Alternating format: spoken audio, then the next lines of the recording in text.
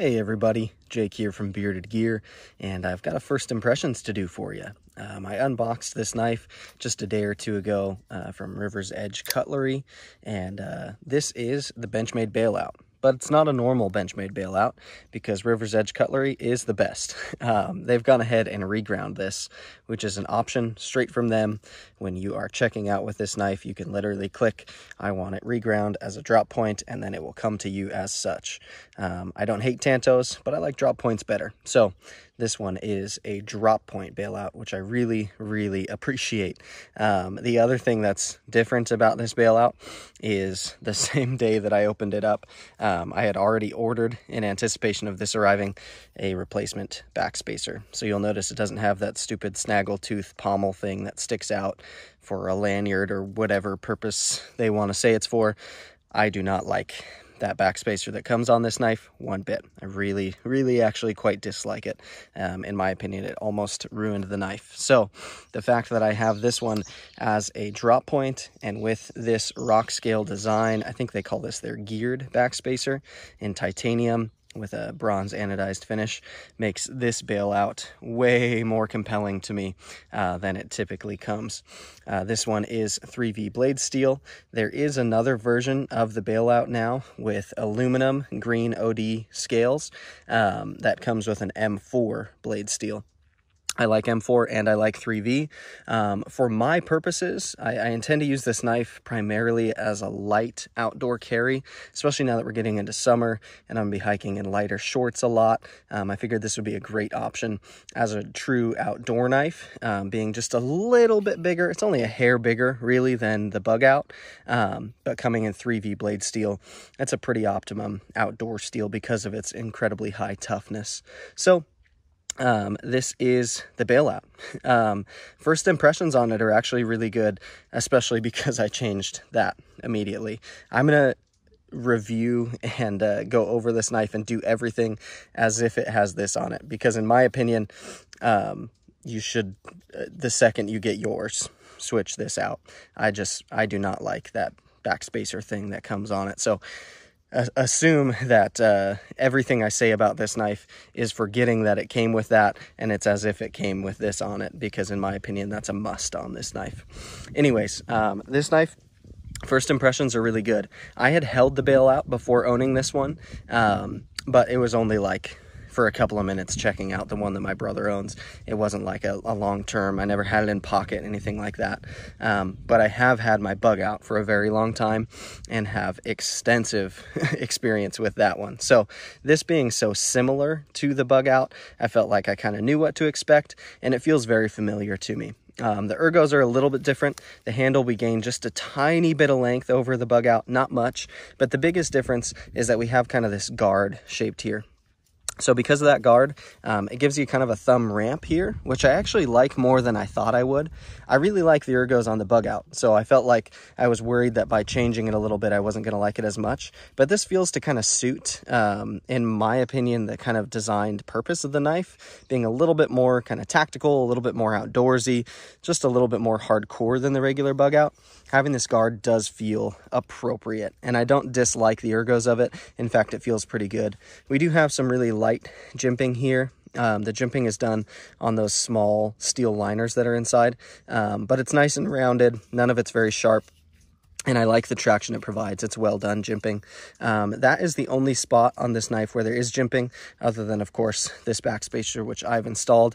I guess you could call that jimping, but it's really large and really round. So again, it's not like super tractiony. It's almost just more of like a cool aesthetic thing and, and provides a little bit of texture. Um, but yeah, so the handle on this one, I really like on first impressions. It feels great in hand. I really like it quite a bit. Um, the blade profile, since it's reground to a drop point, I love. Um, this just feels like a slightly larger bug out blade now, and it's in 3V, which I love the bug out, um, but S30V is pretty vanilla at this point, in my opinion. So having essentially um, a, a slightly enhanced bug out with 3V blade steel is pretty cool to me. I'm really digging it. Um, I'm going to go ahead and get in front of the camera in a moment so I can talk a little bit more about my thoughts on it. Um, but I did want to show some up close and uh, kind of personal details on this one before I showed my face talking about it. So you can see it's rocking the same clip as the bug out. That's Benchmade's mini deep carry clip. It's one of my favorite clips in the knife world, period, right now. Just works so great, carries so great, functions really well it comes right to the butt of this knife. So when this knife is in pocket, all you really see is a clip. You don't see knife sticking out, which I think is what a deep carry clip should do. The positioning on it is perfect for that. Um, it's rocking the same access lock that we know and love from Benchmade. Um, I will say that this one came off center to me. I tried a little bit to adjust it. If you watch the video of me installing this, um, I fiddled with it a little bit. I was unsuccessful. I will eventually do a full disassembly and really work on getting it centered. But in the meantime, it's fully functional. It's not rubbing the scale. Um, the action feels great to me. So I've left it for the moment, but it is off center. And uh, a lot of people who complain about Benchmade's QC complain about centering a lot. So in this case, they are correct. It, it was not on center. Um, but yeah, so I'm gonna go ahead and hop in front of the camera and talk some more about it. But that is the glamour shot, if you will, and kind of the anatomy of this knife. All right, so now I'm in front of the camera, although I just realized sitting here, this tree is peeing on me. It's, uh, it's dripping all over my brand new River's Edge cutlery shirt, which is a bummer, but I'm sure it'll wash out. It's just some sap or something. I don't know. Maybe a squirrel's up there pissing on me. Who knows? Anywho, um, this is the bailout. Now, like I mentioned a little bit while this was in front of the camera, I have kind of a philosophy of use for this knife. And so um, part of what I'm gonna be doing out here today, it's gonna be a separate video, but I'm gonna be doing some field testing on this knife because the bug out has been one of my favorite knives to carry for a long time. Um, it makes it in pocket a lot, um, either as a primary or as a secondary. It is truly, in my opinion, the knife that is best at disappearing in the pocket. And a lot of people throw that term around for a lot of different knives, um, but the bug out actually kind of does that, in my opinion. Um, so this being essentially a slightly, and I do mean slightly, it's not much larger, a slightly larger version of the bug out with an enhanced blade steel offering, slightly different ergos. Um, it's appealing to me. I recently tried, if you haven't seen uh, the mini bug out, I borrowed my brother's for about a week, carried it a few times, tried some minor cutting with it, and frankly, that knife was not for me. I just didn't love the mini bug out like I hoped I would or like I even expected I would. Um, I just found that, in my opinion, for my uses, it was pointless to have a smaller bug out because the regular bug out is already small enough. Um, it's not a knife that really needed to be made smaller. I've had a few people say that, in their opinion, the reason why they offer a smaller version is for places where it's illegal to carry knives with longer blade lengths or whatever it may be. Frankly, me personally, I don't really care about that. Um, I live in Cal California and I carry knives that are longer than three inches frequently. I've never had any issues with it. Um, I'm not out doing reckless things with my knives. You can say I'm an idiot for doing that, um, but it is what it is. Um, this, however, being slightly larger than the bug out and having a better steel, arguably, uh, than the bug out, at least for outdoors like this, foreseeably, um, it's way more compelling. Now, there are a couple reasons why I never bought a bailout for myself.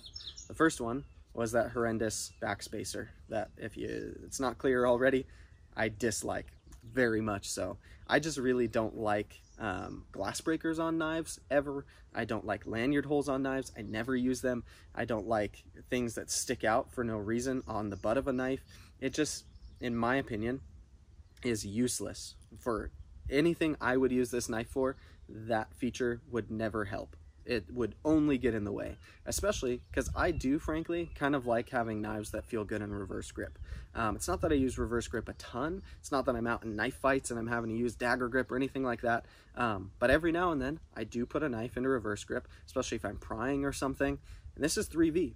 This is a blade steel that should, foreseeably, be pretty decent at prying. In fact, a lot of what Benchmade said in the beginning of this knife about its um, heat treat that a lot of people were getting real upset about.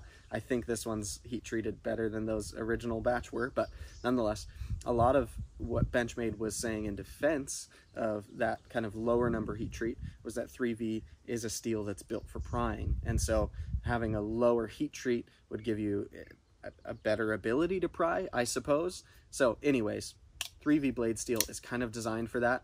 And I like being able to put my thumb on top of my knife and reverse grip. That's the best way to do it in my opinion, especially if you're jamming into something. Because if you slide down this knife as it hits into something hard, you're going to be real upset that you did so as your fingertips all, or as the pads of your fingers all go across that sharp edge.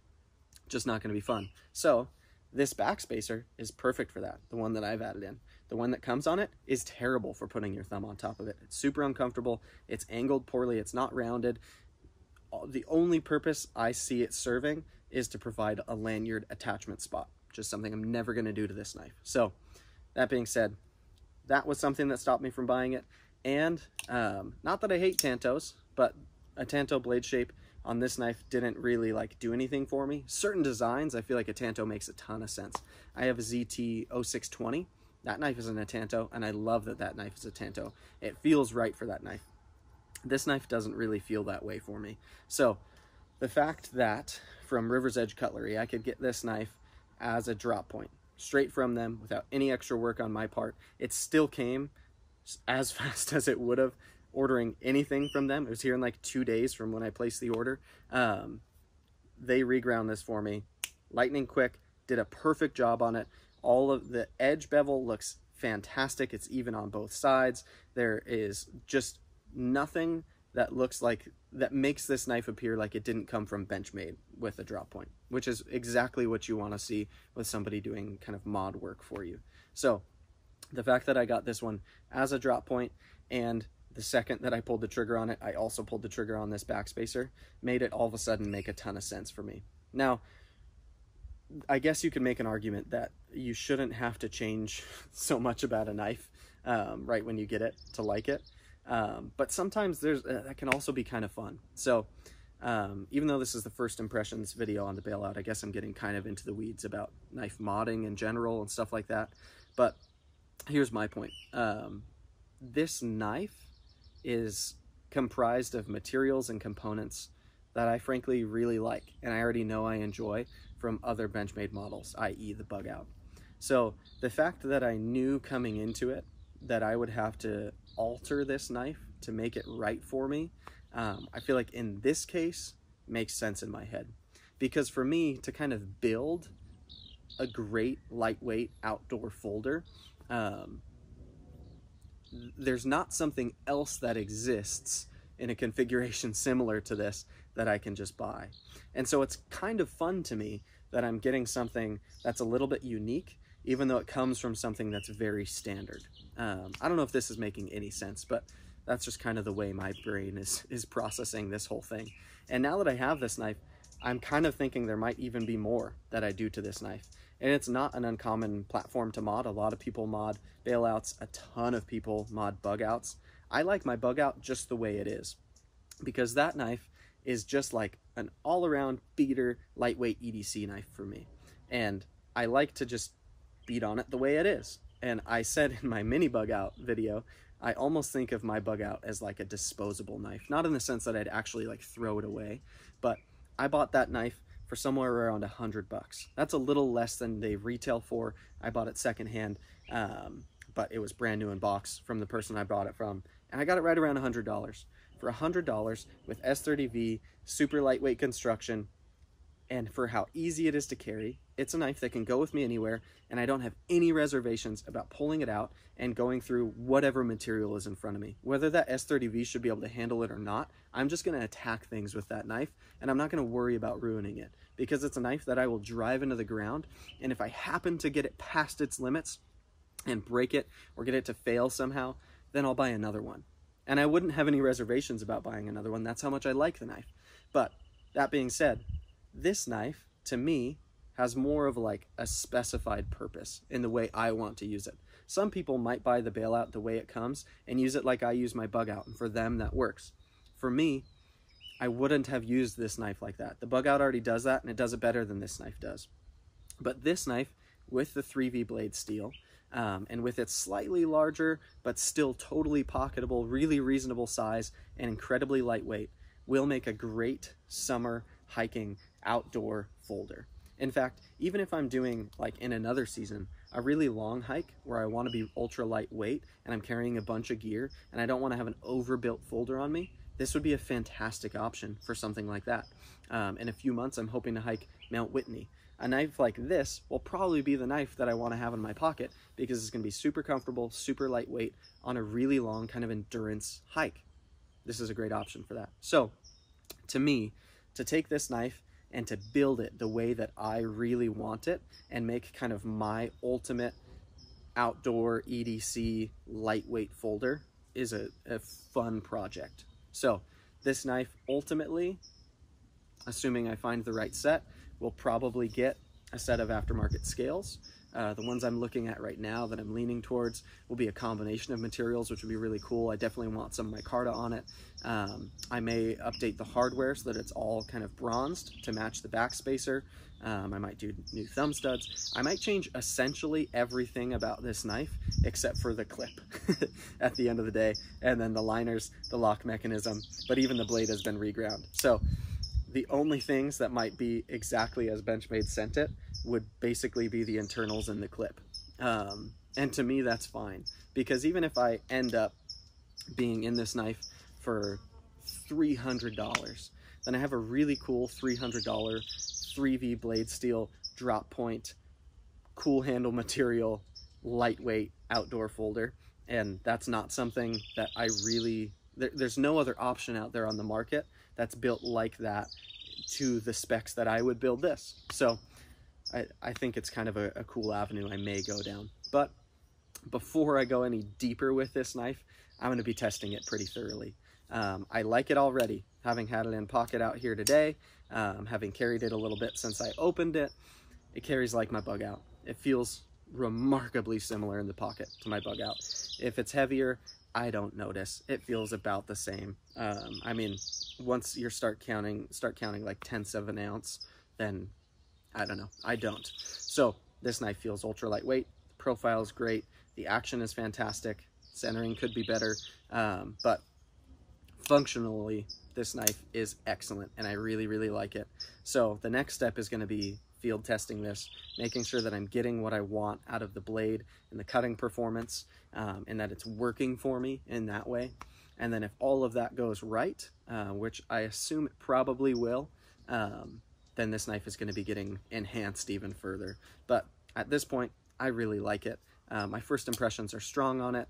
Um, if you've watched my bug out video, you'll know how much I love the bug out. And this being so similar to it without sacrificing size like the mini bug out does, um, this is a win in my book. So especially because River's Edge offers it as a drop point and makes it so easy. It's just a great way to get started with this knife in my opinion. And uh, I guess that's going to be that. I, I'll have a lot more to say about this knife once I use it a fair bit. Um, but yeah, my first impressions are great on it. I really do like the bailout so far, um, assuming that you swap that backspacer out. And uh, if you're not a Tanto fan or just prefer a drop point like me, then assuming that you also get the drop point. But there's nothing wrong with the Tanto. Um, so I'll let that be that.